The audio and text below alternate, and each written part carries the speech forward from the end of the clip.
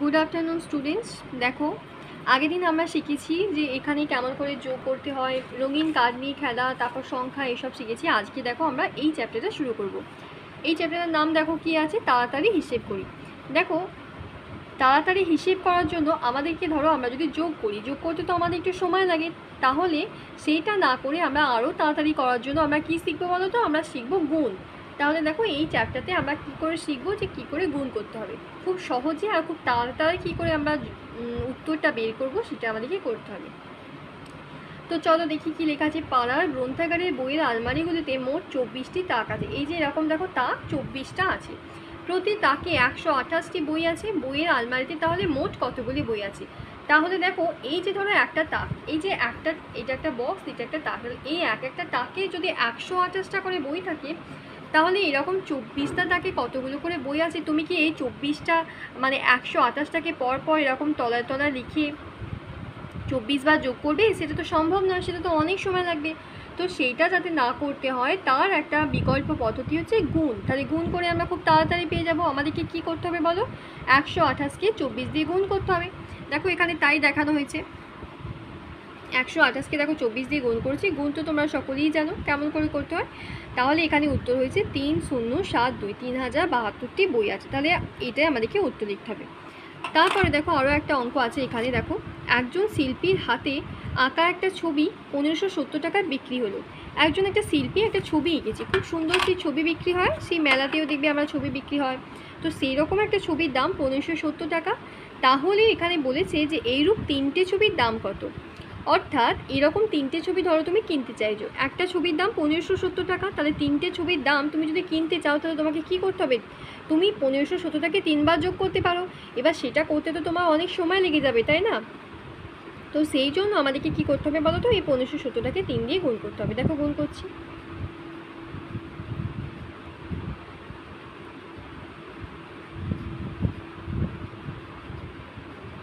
দেখো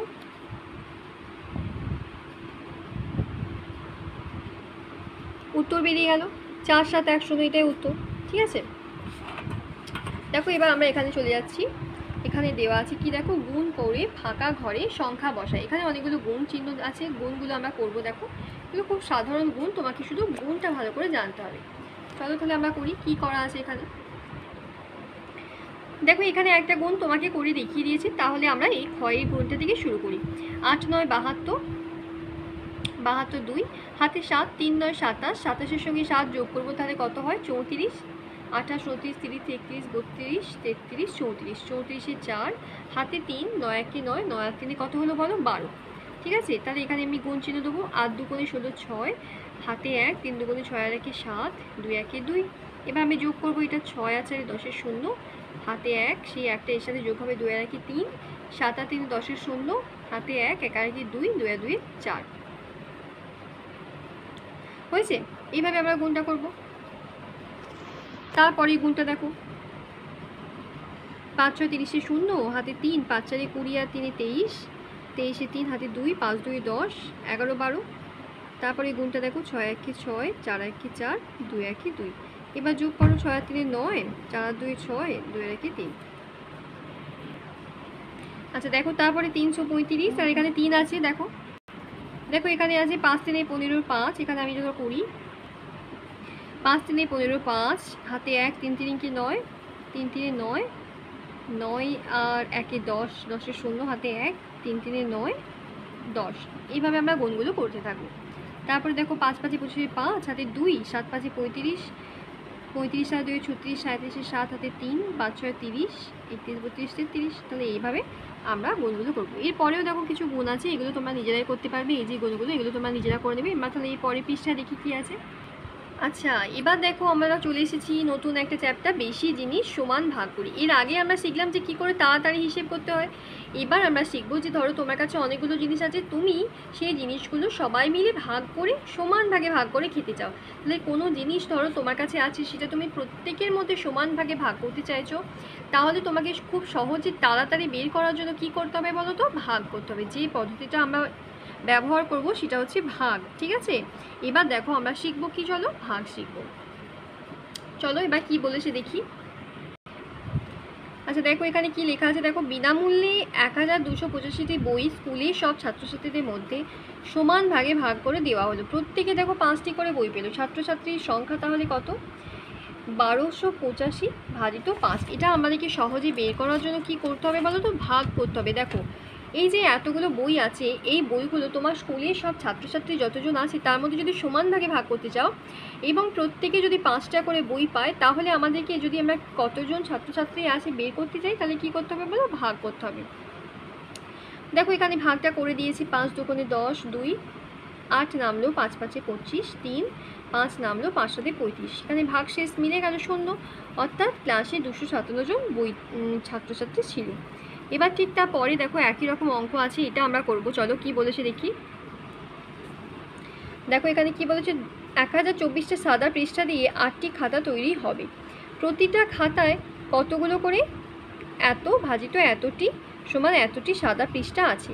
দেখো তাহলে আটটি করে খাতা তৈরি হবে, আর পৃষ্ঠার সংখ্যা কত আছে? হাজার চব্বিশ। তাহলে এখানে আমাকে বলতে হবে যে কতগুলো? ওই আটটা খাতায় কতগুলো করে পৃষ্ঠা আমাকে দিতে হবে? সেটা বের করার জন্য আমি কি করব বলো তো? খুব সহজ। এখানে আমাকে ভাগ করতে হবে। হাজার চব্বিশ। এটাকে আমি কী দিয়ে ভাগ করব বলো? আট দিয়ে। ঠিক আছে? আট দিয়ে ভাগ করছি, দেখো, আট একে আট। ভাগ শেষ তাহলে দুই নামলো, এখানে দুই। আট দুগুণে ষোলো। ষোলো কত দিতে? ছয় কত দিতে? বারো। ছয় দিতে? তাহলে ছয়। হ্যাঁ চার নামলো, তাহলে আট, আটটি। চৌষট্টি। দেখো মিলে গেল এটা। হুম, এটা মিলে গেল। তাহলে এখানে আমি লিখব, দেখো, হাজার চব্বিশ। এখানে বক্সটা খুব ছোটো দেওয়া আছে। হাজার চব্বিশ ভাজিত এখানে আট। দিয়ে আমার উত্তর কত হলো, দেখো, একশো আঠাশ। এটা আমার উত্তর হলো। একশো আঠাশটা সাদা, পৃষ্ঠা আছে। তাহলে আমার এটাই উত্তর হবে। ঠিক আছে? তারপরে অঙ্কটা দেখো কি বলা আছে? এখানে বলা আছে যে এক হাজার দুশো তেত্রিশটা ফুল দিয়ে মালা গাঁথতে হবে, প্রতিটা মালায় নটি করে ফুল আছে, তাহলে কতগুলো মালা তৈরি হবে? এইটা করার জন্য আমাদেরকে কি করতে হবে জানো তো? এটা করার জন্য আমাদেরকে বারোশো তেত্রিশকে কত দিয়ে ভাগ করতে হবে? এই যে দেখো, বলেছে যে প্রতিটা মালা নটি করে ফুল, তাহলে আমাদেরকে নয় দিয়ে ভাগ করতে হবে। তাহলে আমরা তাই করি, চলো। বারোশো তেত্রিশ, এটাকে আমরা নয় দিয়ে ভাগ করছি। নয় একে নয়, দশ, এগারো, বারো, তিন তিন নামলো। নয়, তিনে সাতাশ আঠাশ, উনত্রিশ, তিরিশ, একত্রিশ, বত্রিশ, তেত্রিশ, ছয় দিতে তিন নামলো, নয় সাতে তেষট্টি। মিলে গেল, শূন্য হলো। তাহলে আমার উত্তর কত হবে বলো? এখানে আমাকে বলেছে, দেখো, জানতে চেয়েছে যে কতগুলো মালা তৈরি হবে। তাহলে আমার উত্তর হবে, দেখো, একশো সাঁত্রিশটি মালা তৈরি হবে। এটাই আমার উত্তর হবে। অর্থাৎ আমরা এখানে কি করছি বলো তো? ভাগ করছি। দেখো, এখানে আমি করেছি যে একশো সাঁত্রিশটি মালা তৈরি হবে। আচ্ছা এর পরের পৃষ্ঠায় দেখো, আমরা কি শিখছি? আম সমান ভাগে ভাগ করার চেষ্টা করি। অর্থাৎ এটাও কিন্তু আমরা ভাগ করায় শিখব। দেখো, এখানে আমরা পড়ি, কাল ঝড়ে গাছ থেকে অনেক আম পড়ে গেছে। আমি ও আমার বন্ধু আম কুড়িয়ে ঝুড়িতে রাখলাম। একশো সাতাশটি আম কুড়িয়েছি, পরের দিন আমরা পাঁচ বন্ধুর মধ্যে আমগুলো সমান ভাগে ভাগ করে নেওয়ার চেষ্টা করলাম। দেখো, পাঁচজন মিলে এখানে পাঁচজন আছে, ছবিতে তোমরা দেখতে পাচ্ছ, এক, দুই, তিন, চার, পাঁচ, এই পাঁচজনের ঝুড়িতে যে একশো সাতাশটা আম আছে, সেটা যদি সমান ভাগে ভাগ করে রাখতে চায়, নিতে চায়, ভাগ করে নিতে চায়, তাহলে সেটা কি করতে হবে? ভাগ করে দেখতে হবে। দেখো, আমরা ভাগ করছি। পাঁচ দুগুণে দশ সেখানে দেখো দুই ভাগ শেষ আছে, সাত নামলো, আবার দেখো পাঁচ পাঁচে পঁচিশ, তাহলে এখানে দেখো ভাগশেষ আমরা দেখছি দুই আছে। তাহলে এই যে এখানে ভাজ্য ভাজ্য কোনটা বলো? দেখো তাহলে ভাজ্য হচ্ছে এখানে কত? একশো সাতাশ। এখানে আমরা লিখে দিচ্ছি, দেখো, একশো সাতাশ। ভাজক, দেখো, এই যে এইটা যেটা দিয়ে আমি ভাগ করছি, যাকে ভাগ করছি সেটা ভাজ্য, ভাগফল কত হলো এখানে, দেখো, পঁচিশ। তাহলে আমি এখানে পঁচিশ লিখছি, আর ভাগশেষ আমার এখানে কত হলো? দুই। ঠিক আছে? দেখো, এখানে আমরা দেখছি যে প্রত্যেকে পঁচিশটা করে আম পেলাম। দুটো করে আম দুটো আম শুধু পড়ে রইল এই যেটা ভাগ শেষ এটাকে কিন্তু আর ভাগ করা গেল না। কেন গেল না? কারণ দেখো, এই দুইটা কিন্তু পাঁচের থেকে তো ছোটো হয়ে যাচ্ছে, যেটা ভাজকের থেকে ছোট হয়ে যাচ্ছে, সেই জন্য আমরা ভাগ করতে পারছি না। অর্থাৎ দেখো এখানে দেখো এখানে ভাগশেষ লেস দেন ভাজক। অর্থাৎ ভাগশেষটা ছোট হয়ে যাচ্ছে। আবার মোট আম তাহলে কত হচ্ছে? একশো সাতাশ। এবার একশো সাতাশ, এইদিকে দেখো তোমরা আমরা পেয়েছি কি? যে ভাগফল পঁচিশ। ভাজক পাঁচ আর ভাগশেষ দুই পেয়েছি। এটাকে যদি আমরা একটা সম্পর্কের মধ্যে আনতে চাই, দেখো কি করেছি? ভাগ ভাগ, ভাজক গণিত ভাগফল, দেখো পাঁচ গণিত পঁচিশ এখানে করা হয়েছে। তার সঙ্গে যদি তুমি ভাগশেষটা যোগ করো, তুমি দেখবে সে এইটাই পাঁচশো একশো সাতাশ।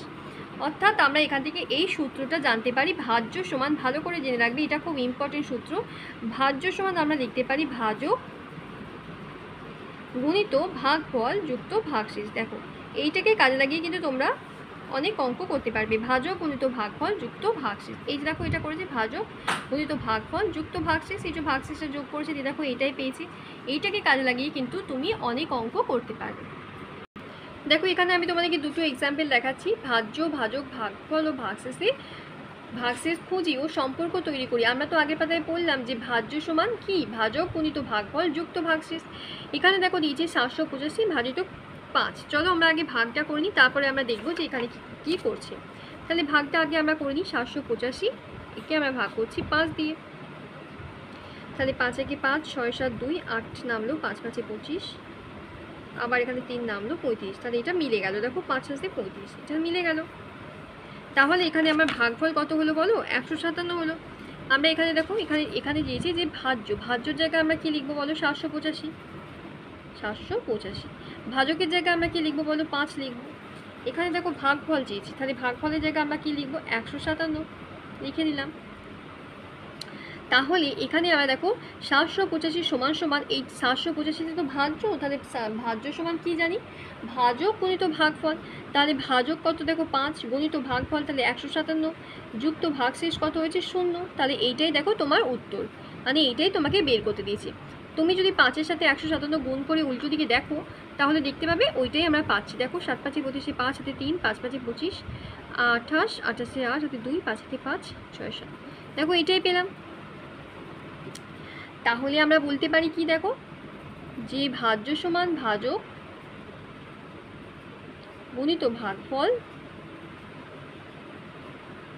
যুক্ত ভাগশেষ, এইটাই আমরা বলতে পারি। মানে এই সম্পর্কে আমরা আসতে পারি যে ভাজ্য সমান ভাজক গুণিত ভাগফল যুক্ত ভাগশেষ, এইটা, ঠিক আছে? আর এখানে আমরা কি দেখছি? দেখো, ভাগশেষ ভাজকের চেয়ে ছোটো না বড়? ভাগশেষটা তো ভাজকের চেয়ে ছোট হচ্ছে, শূন্য হচ্ছে। তাহলে এখানে আমি কি করব? ছোট। ঠিক আছে? এইভাবে আমরা অঙ্কগুলো করব। পরের দিন আমরা তাহলে বাকিটা করব। আজকে অবধি থাক। Thank you all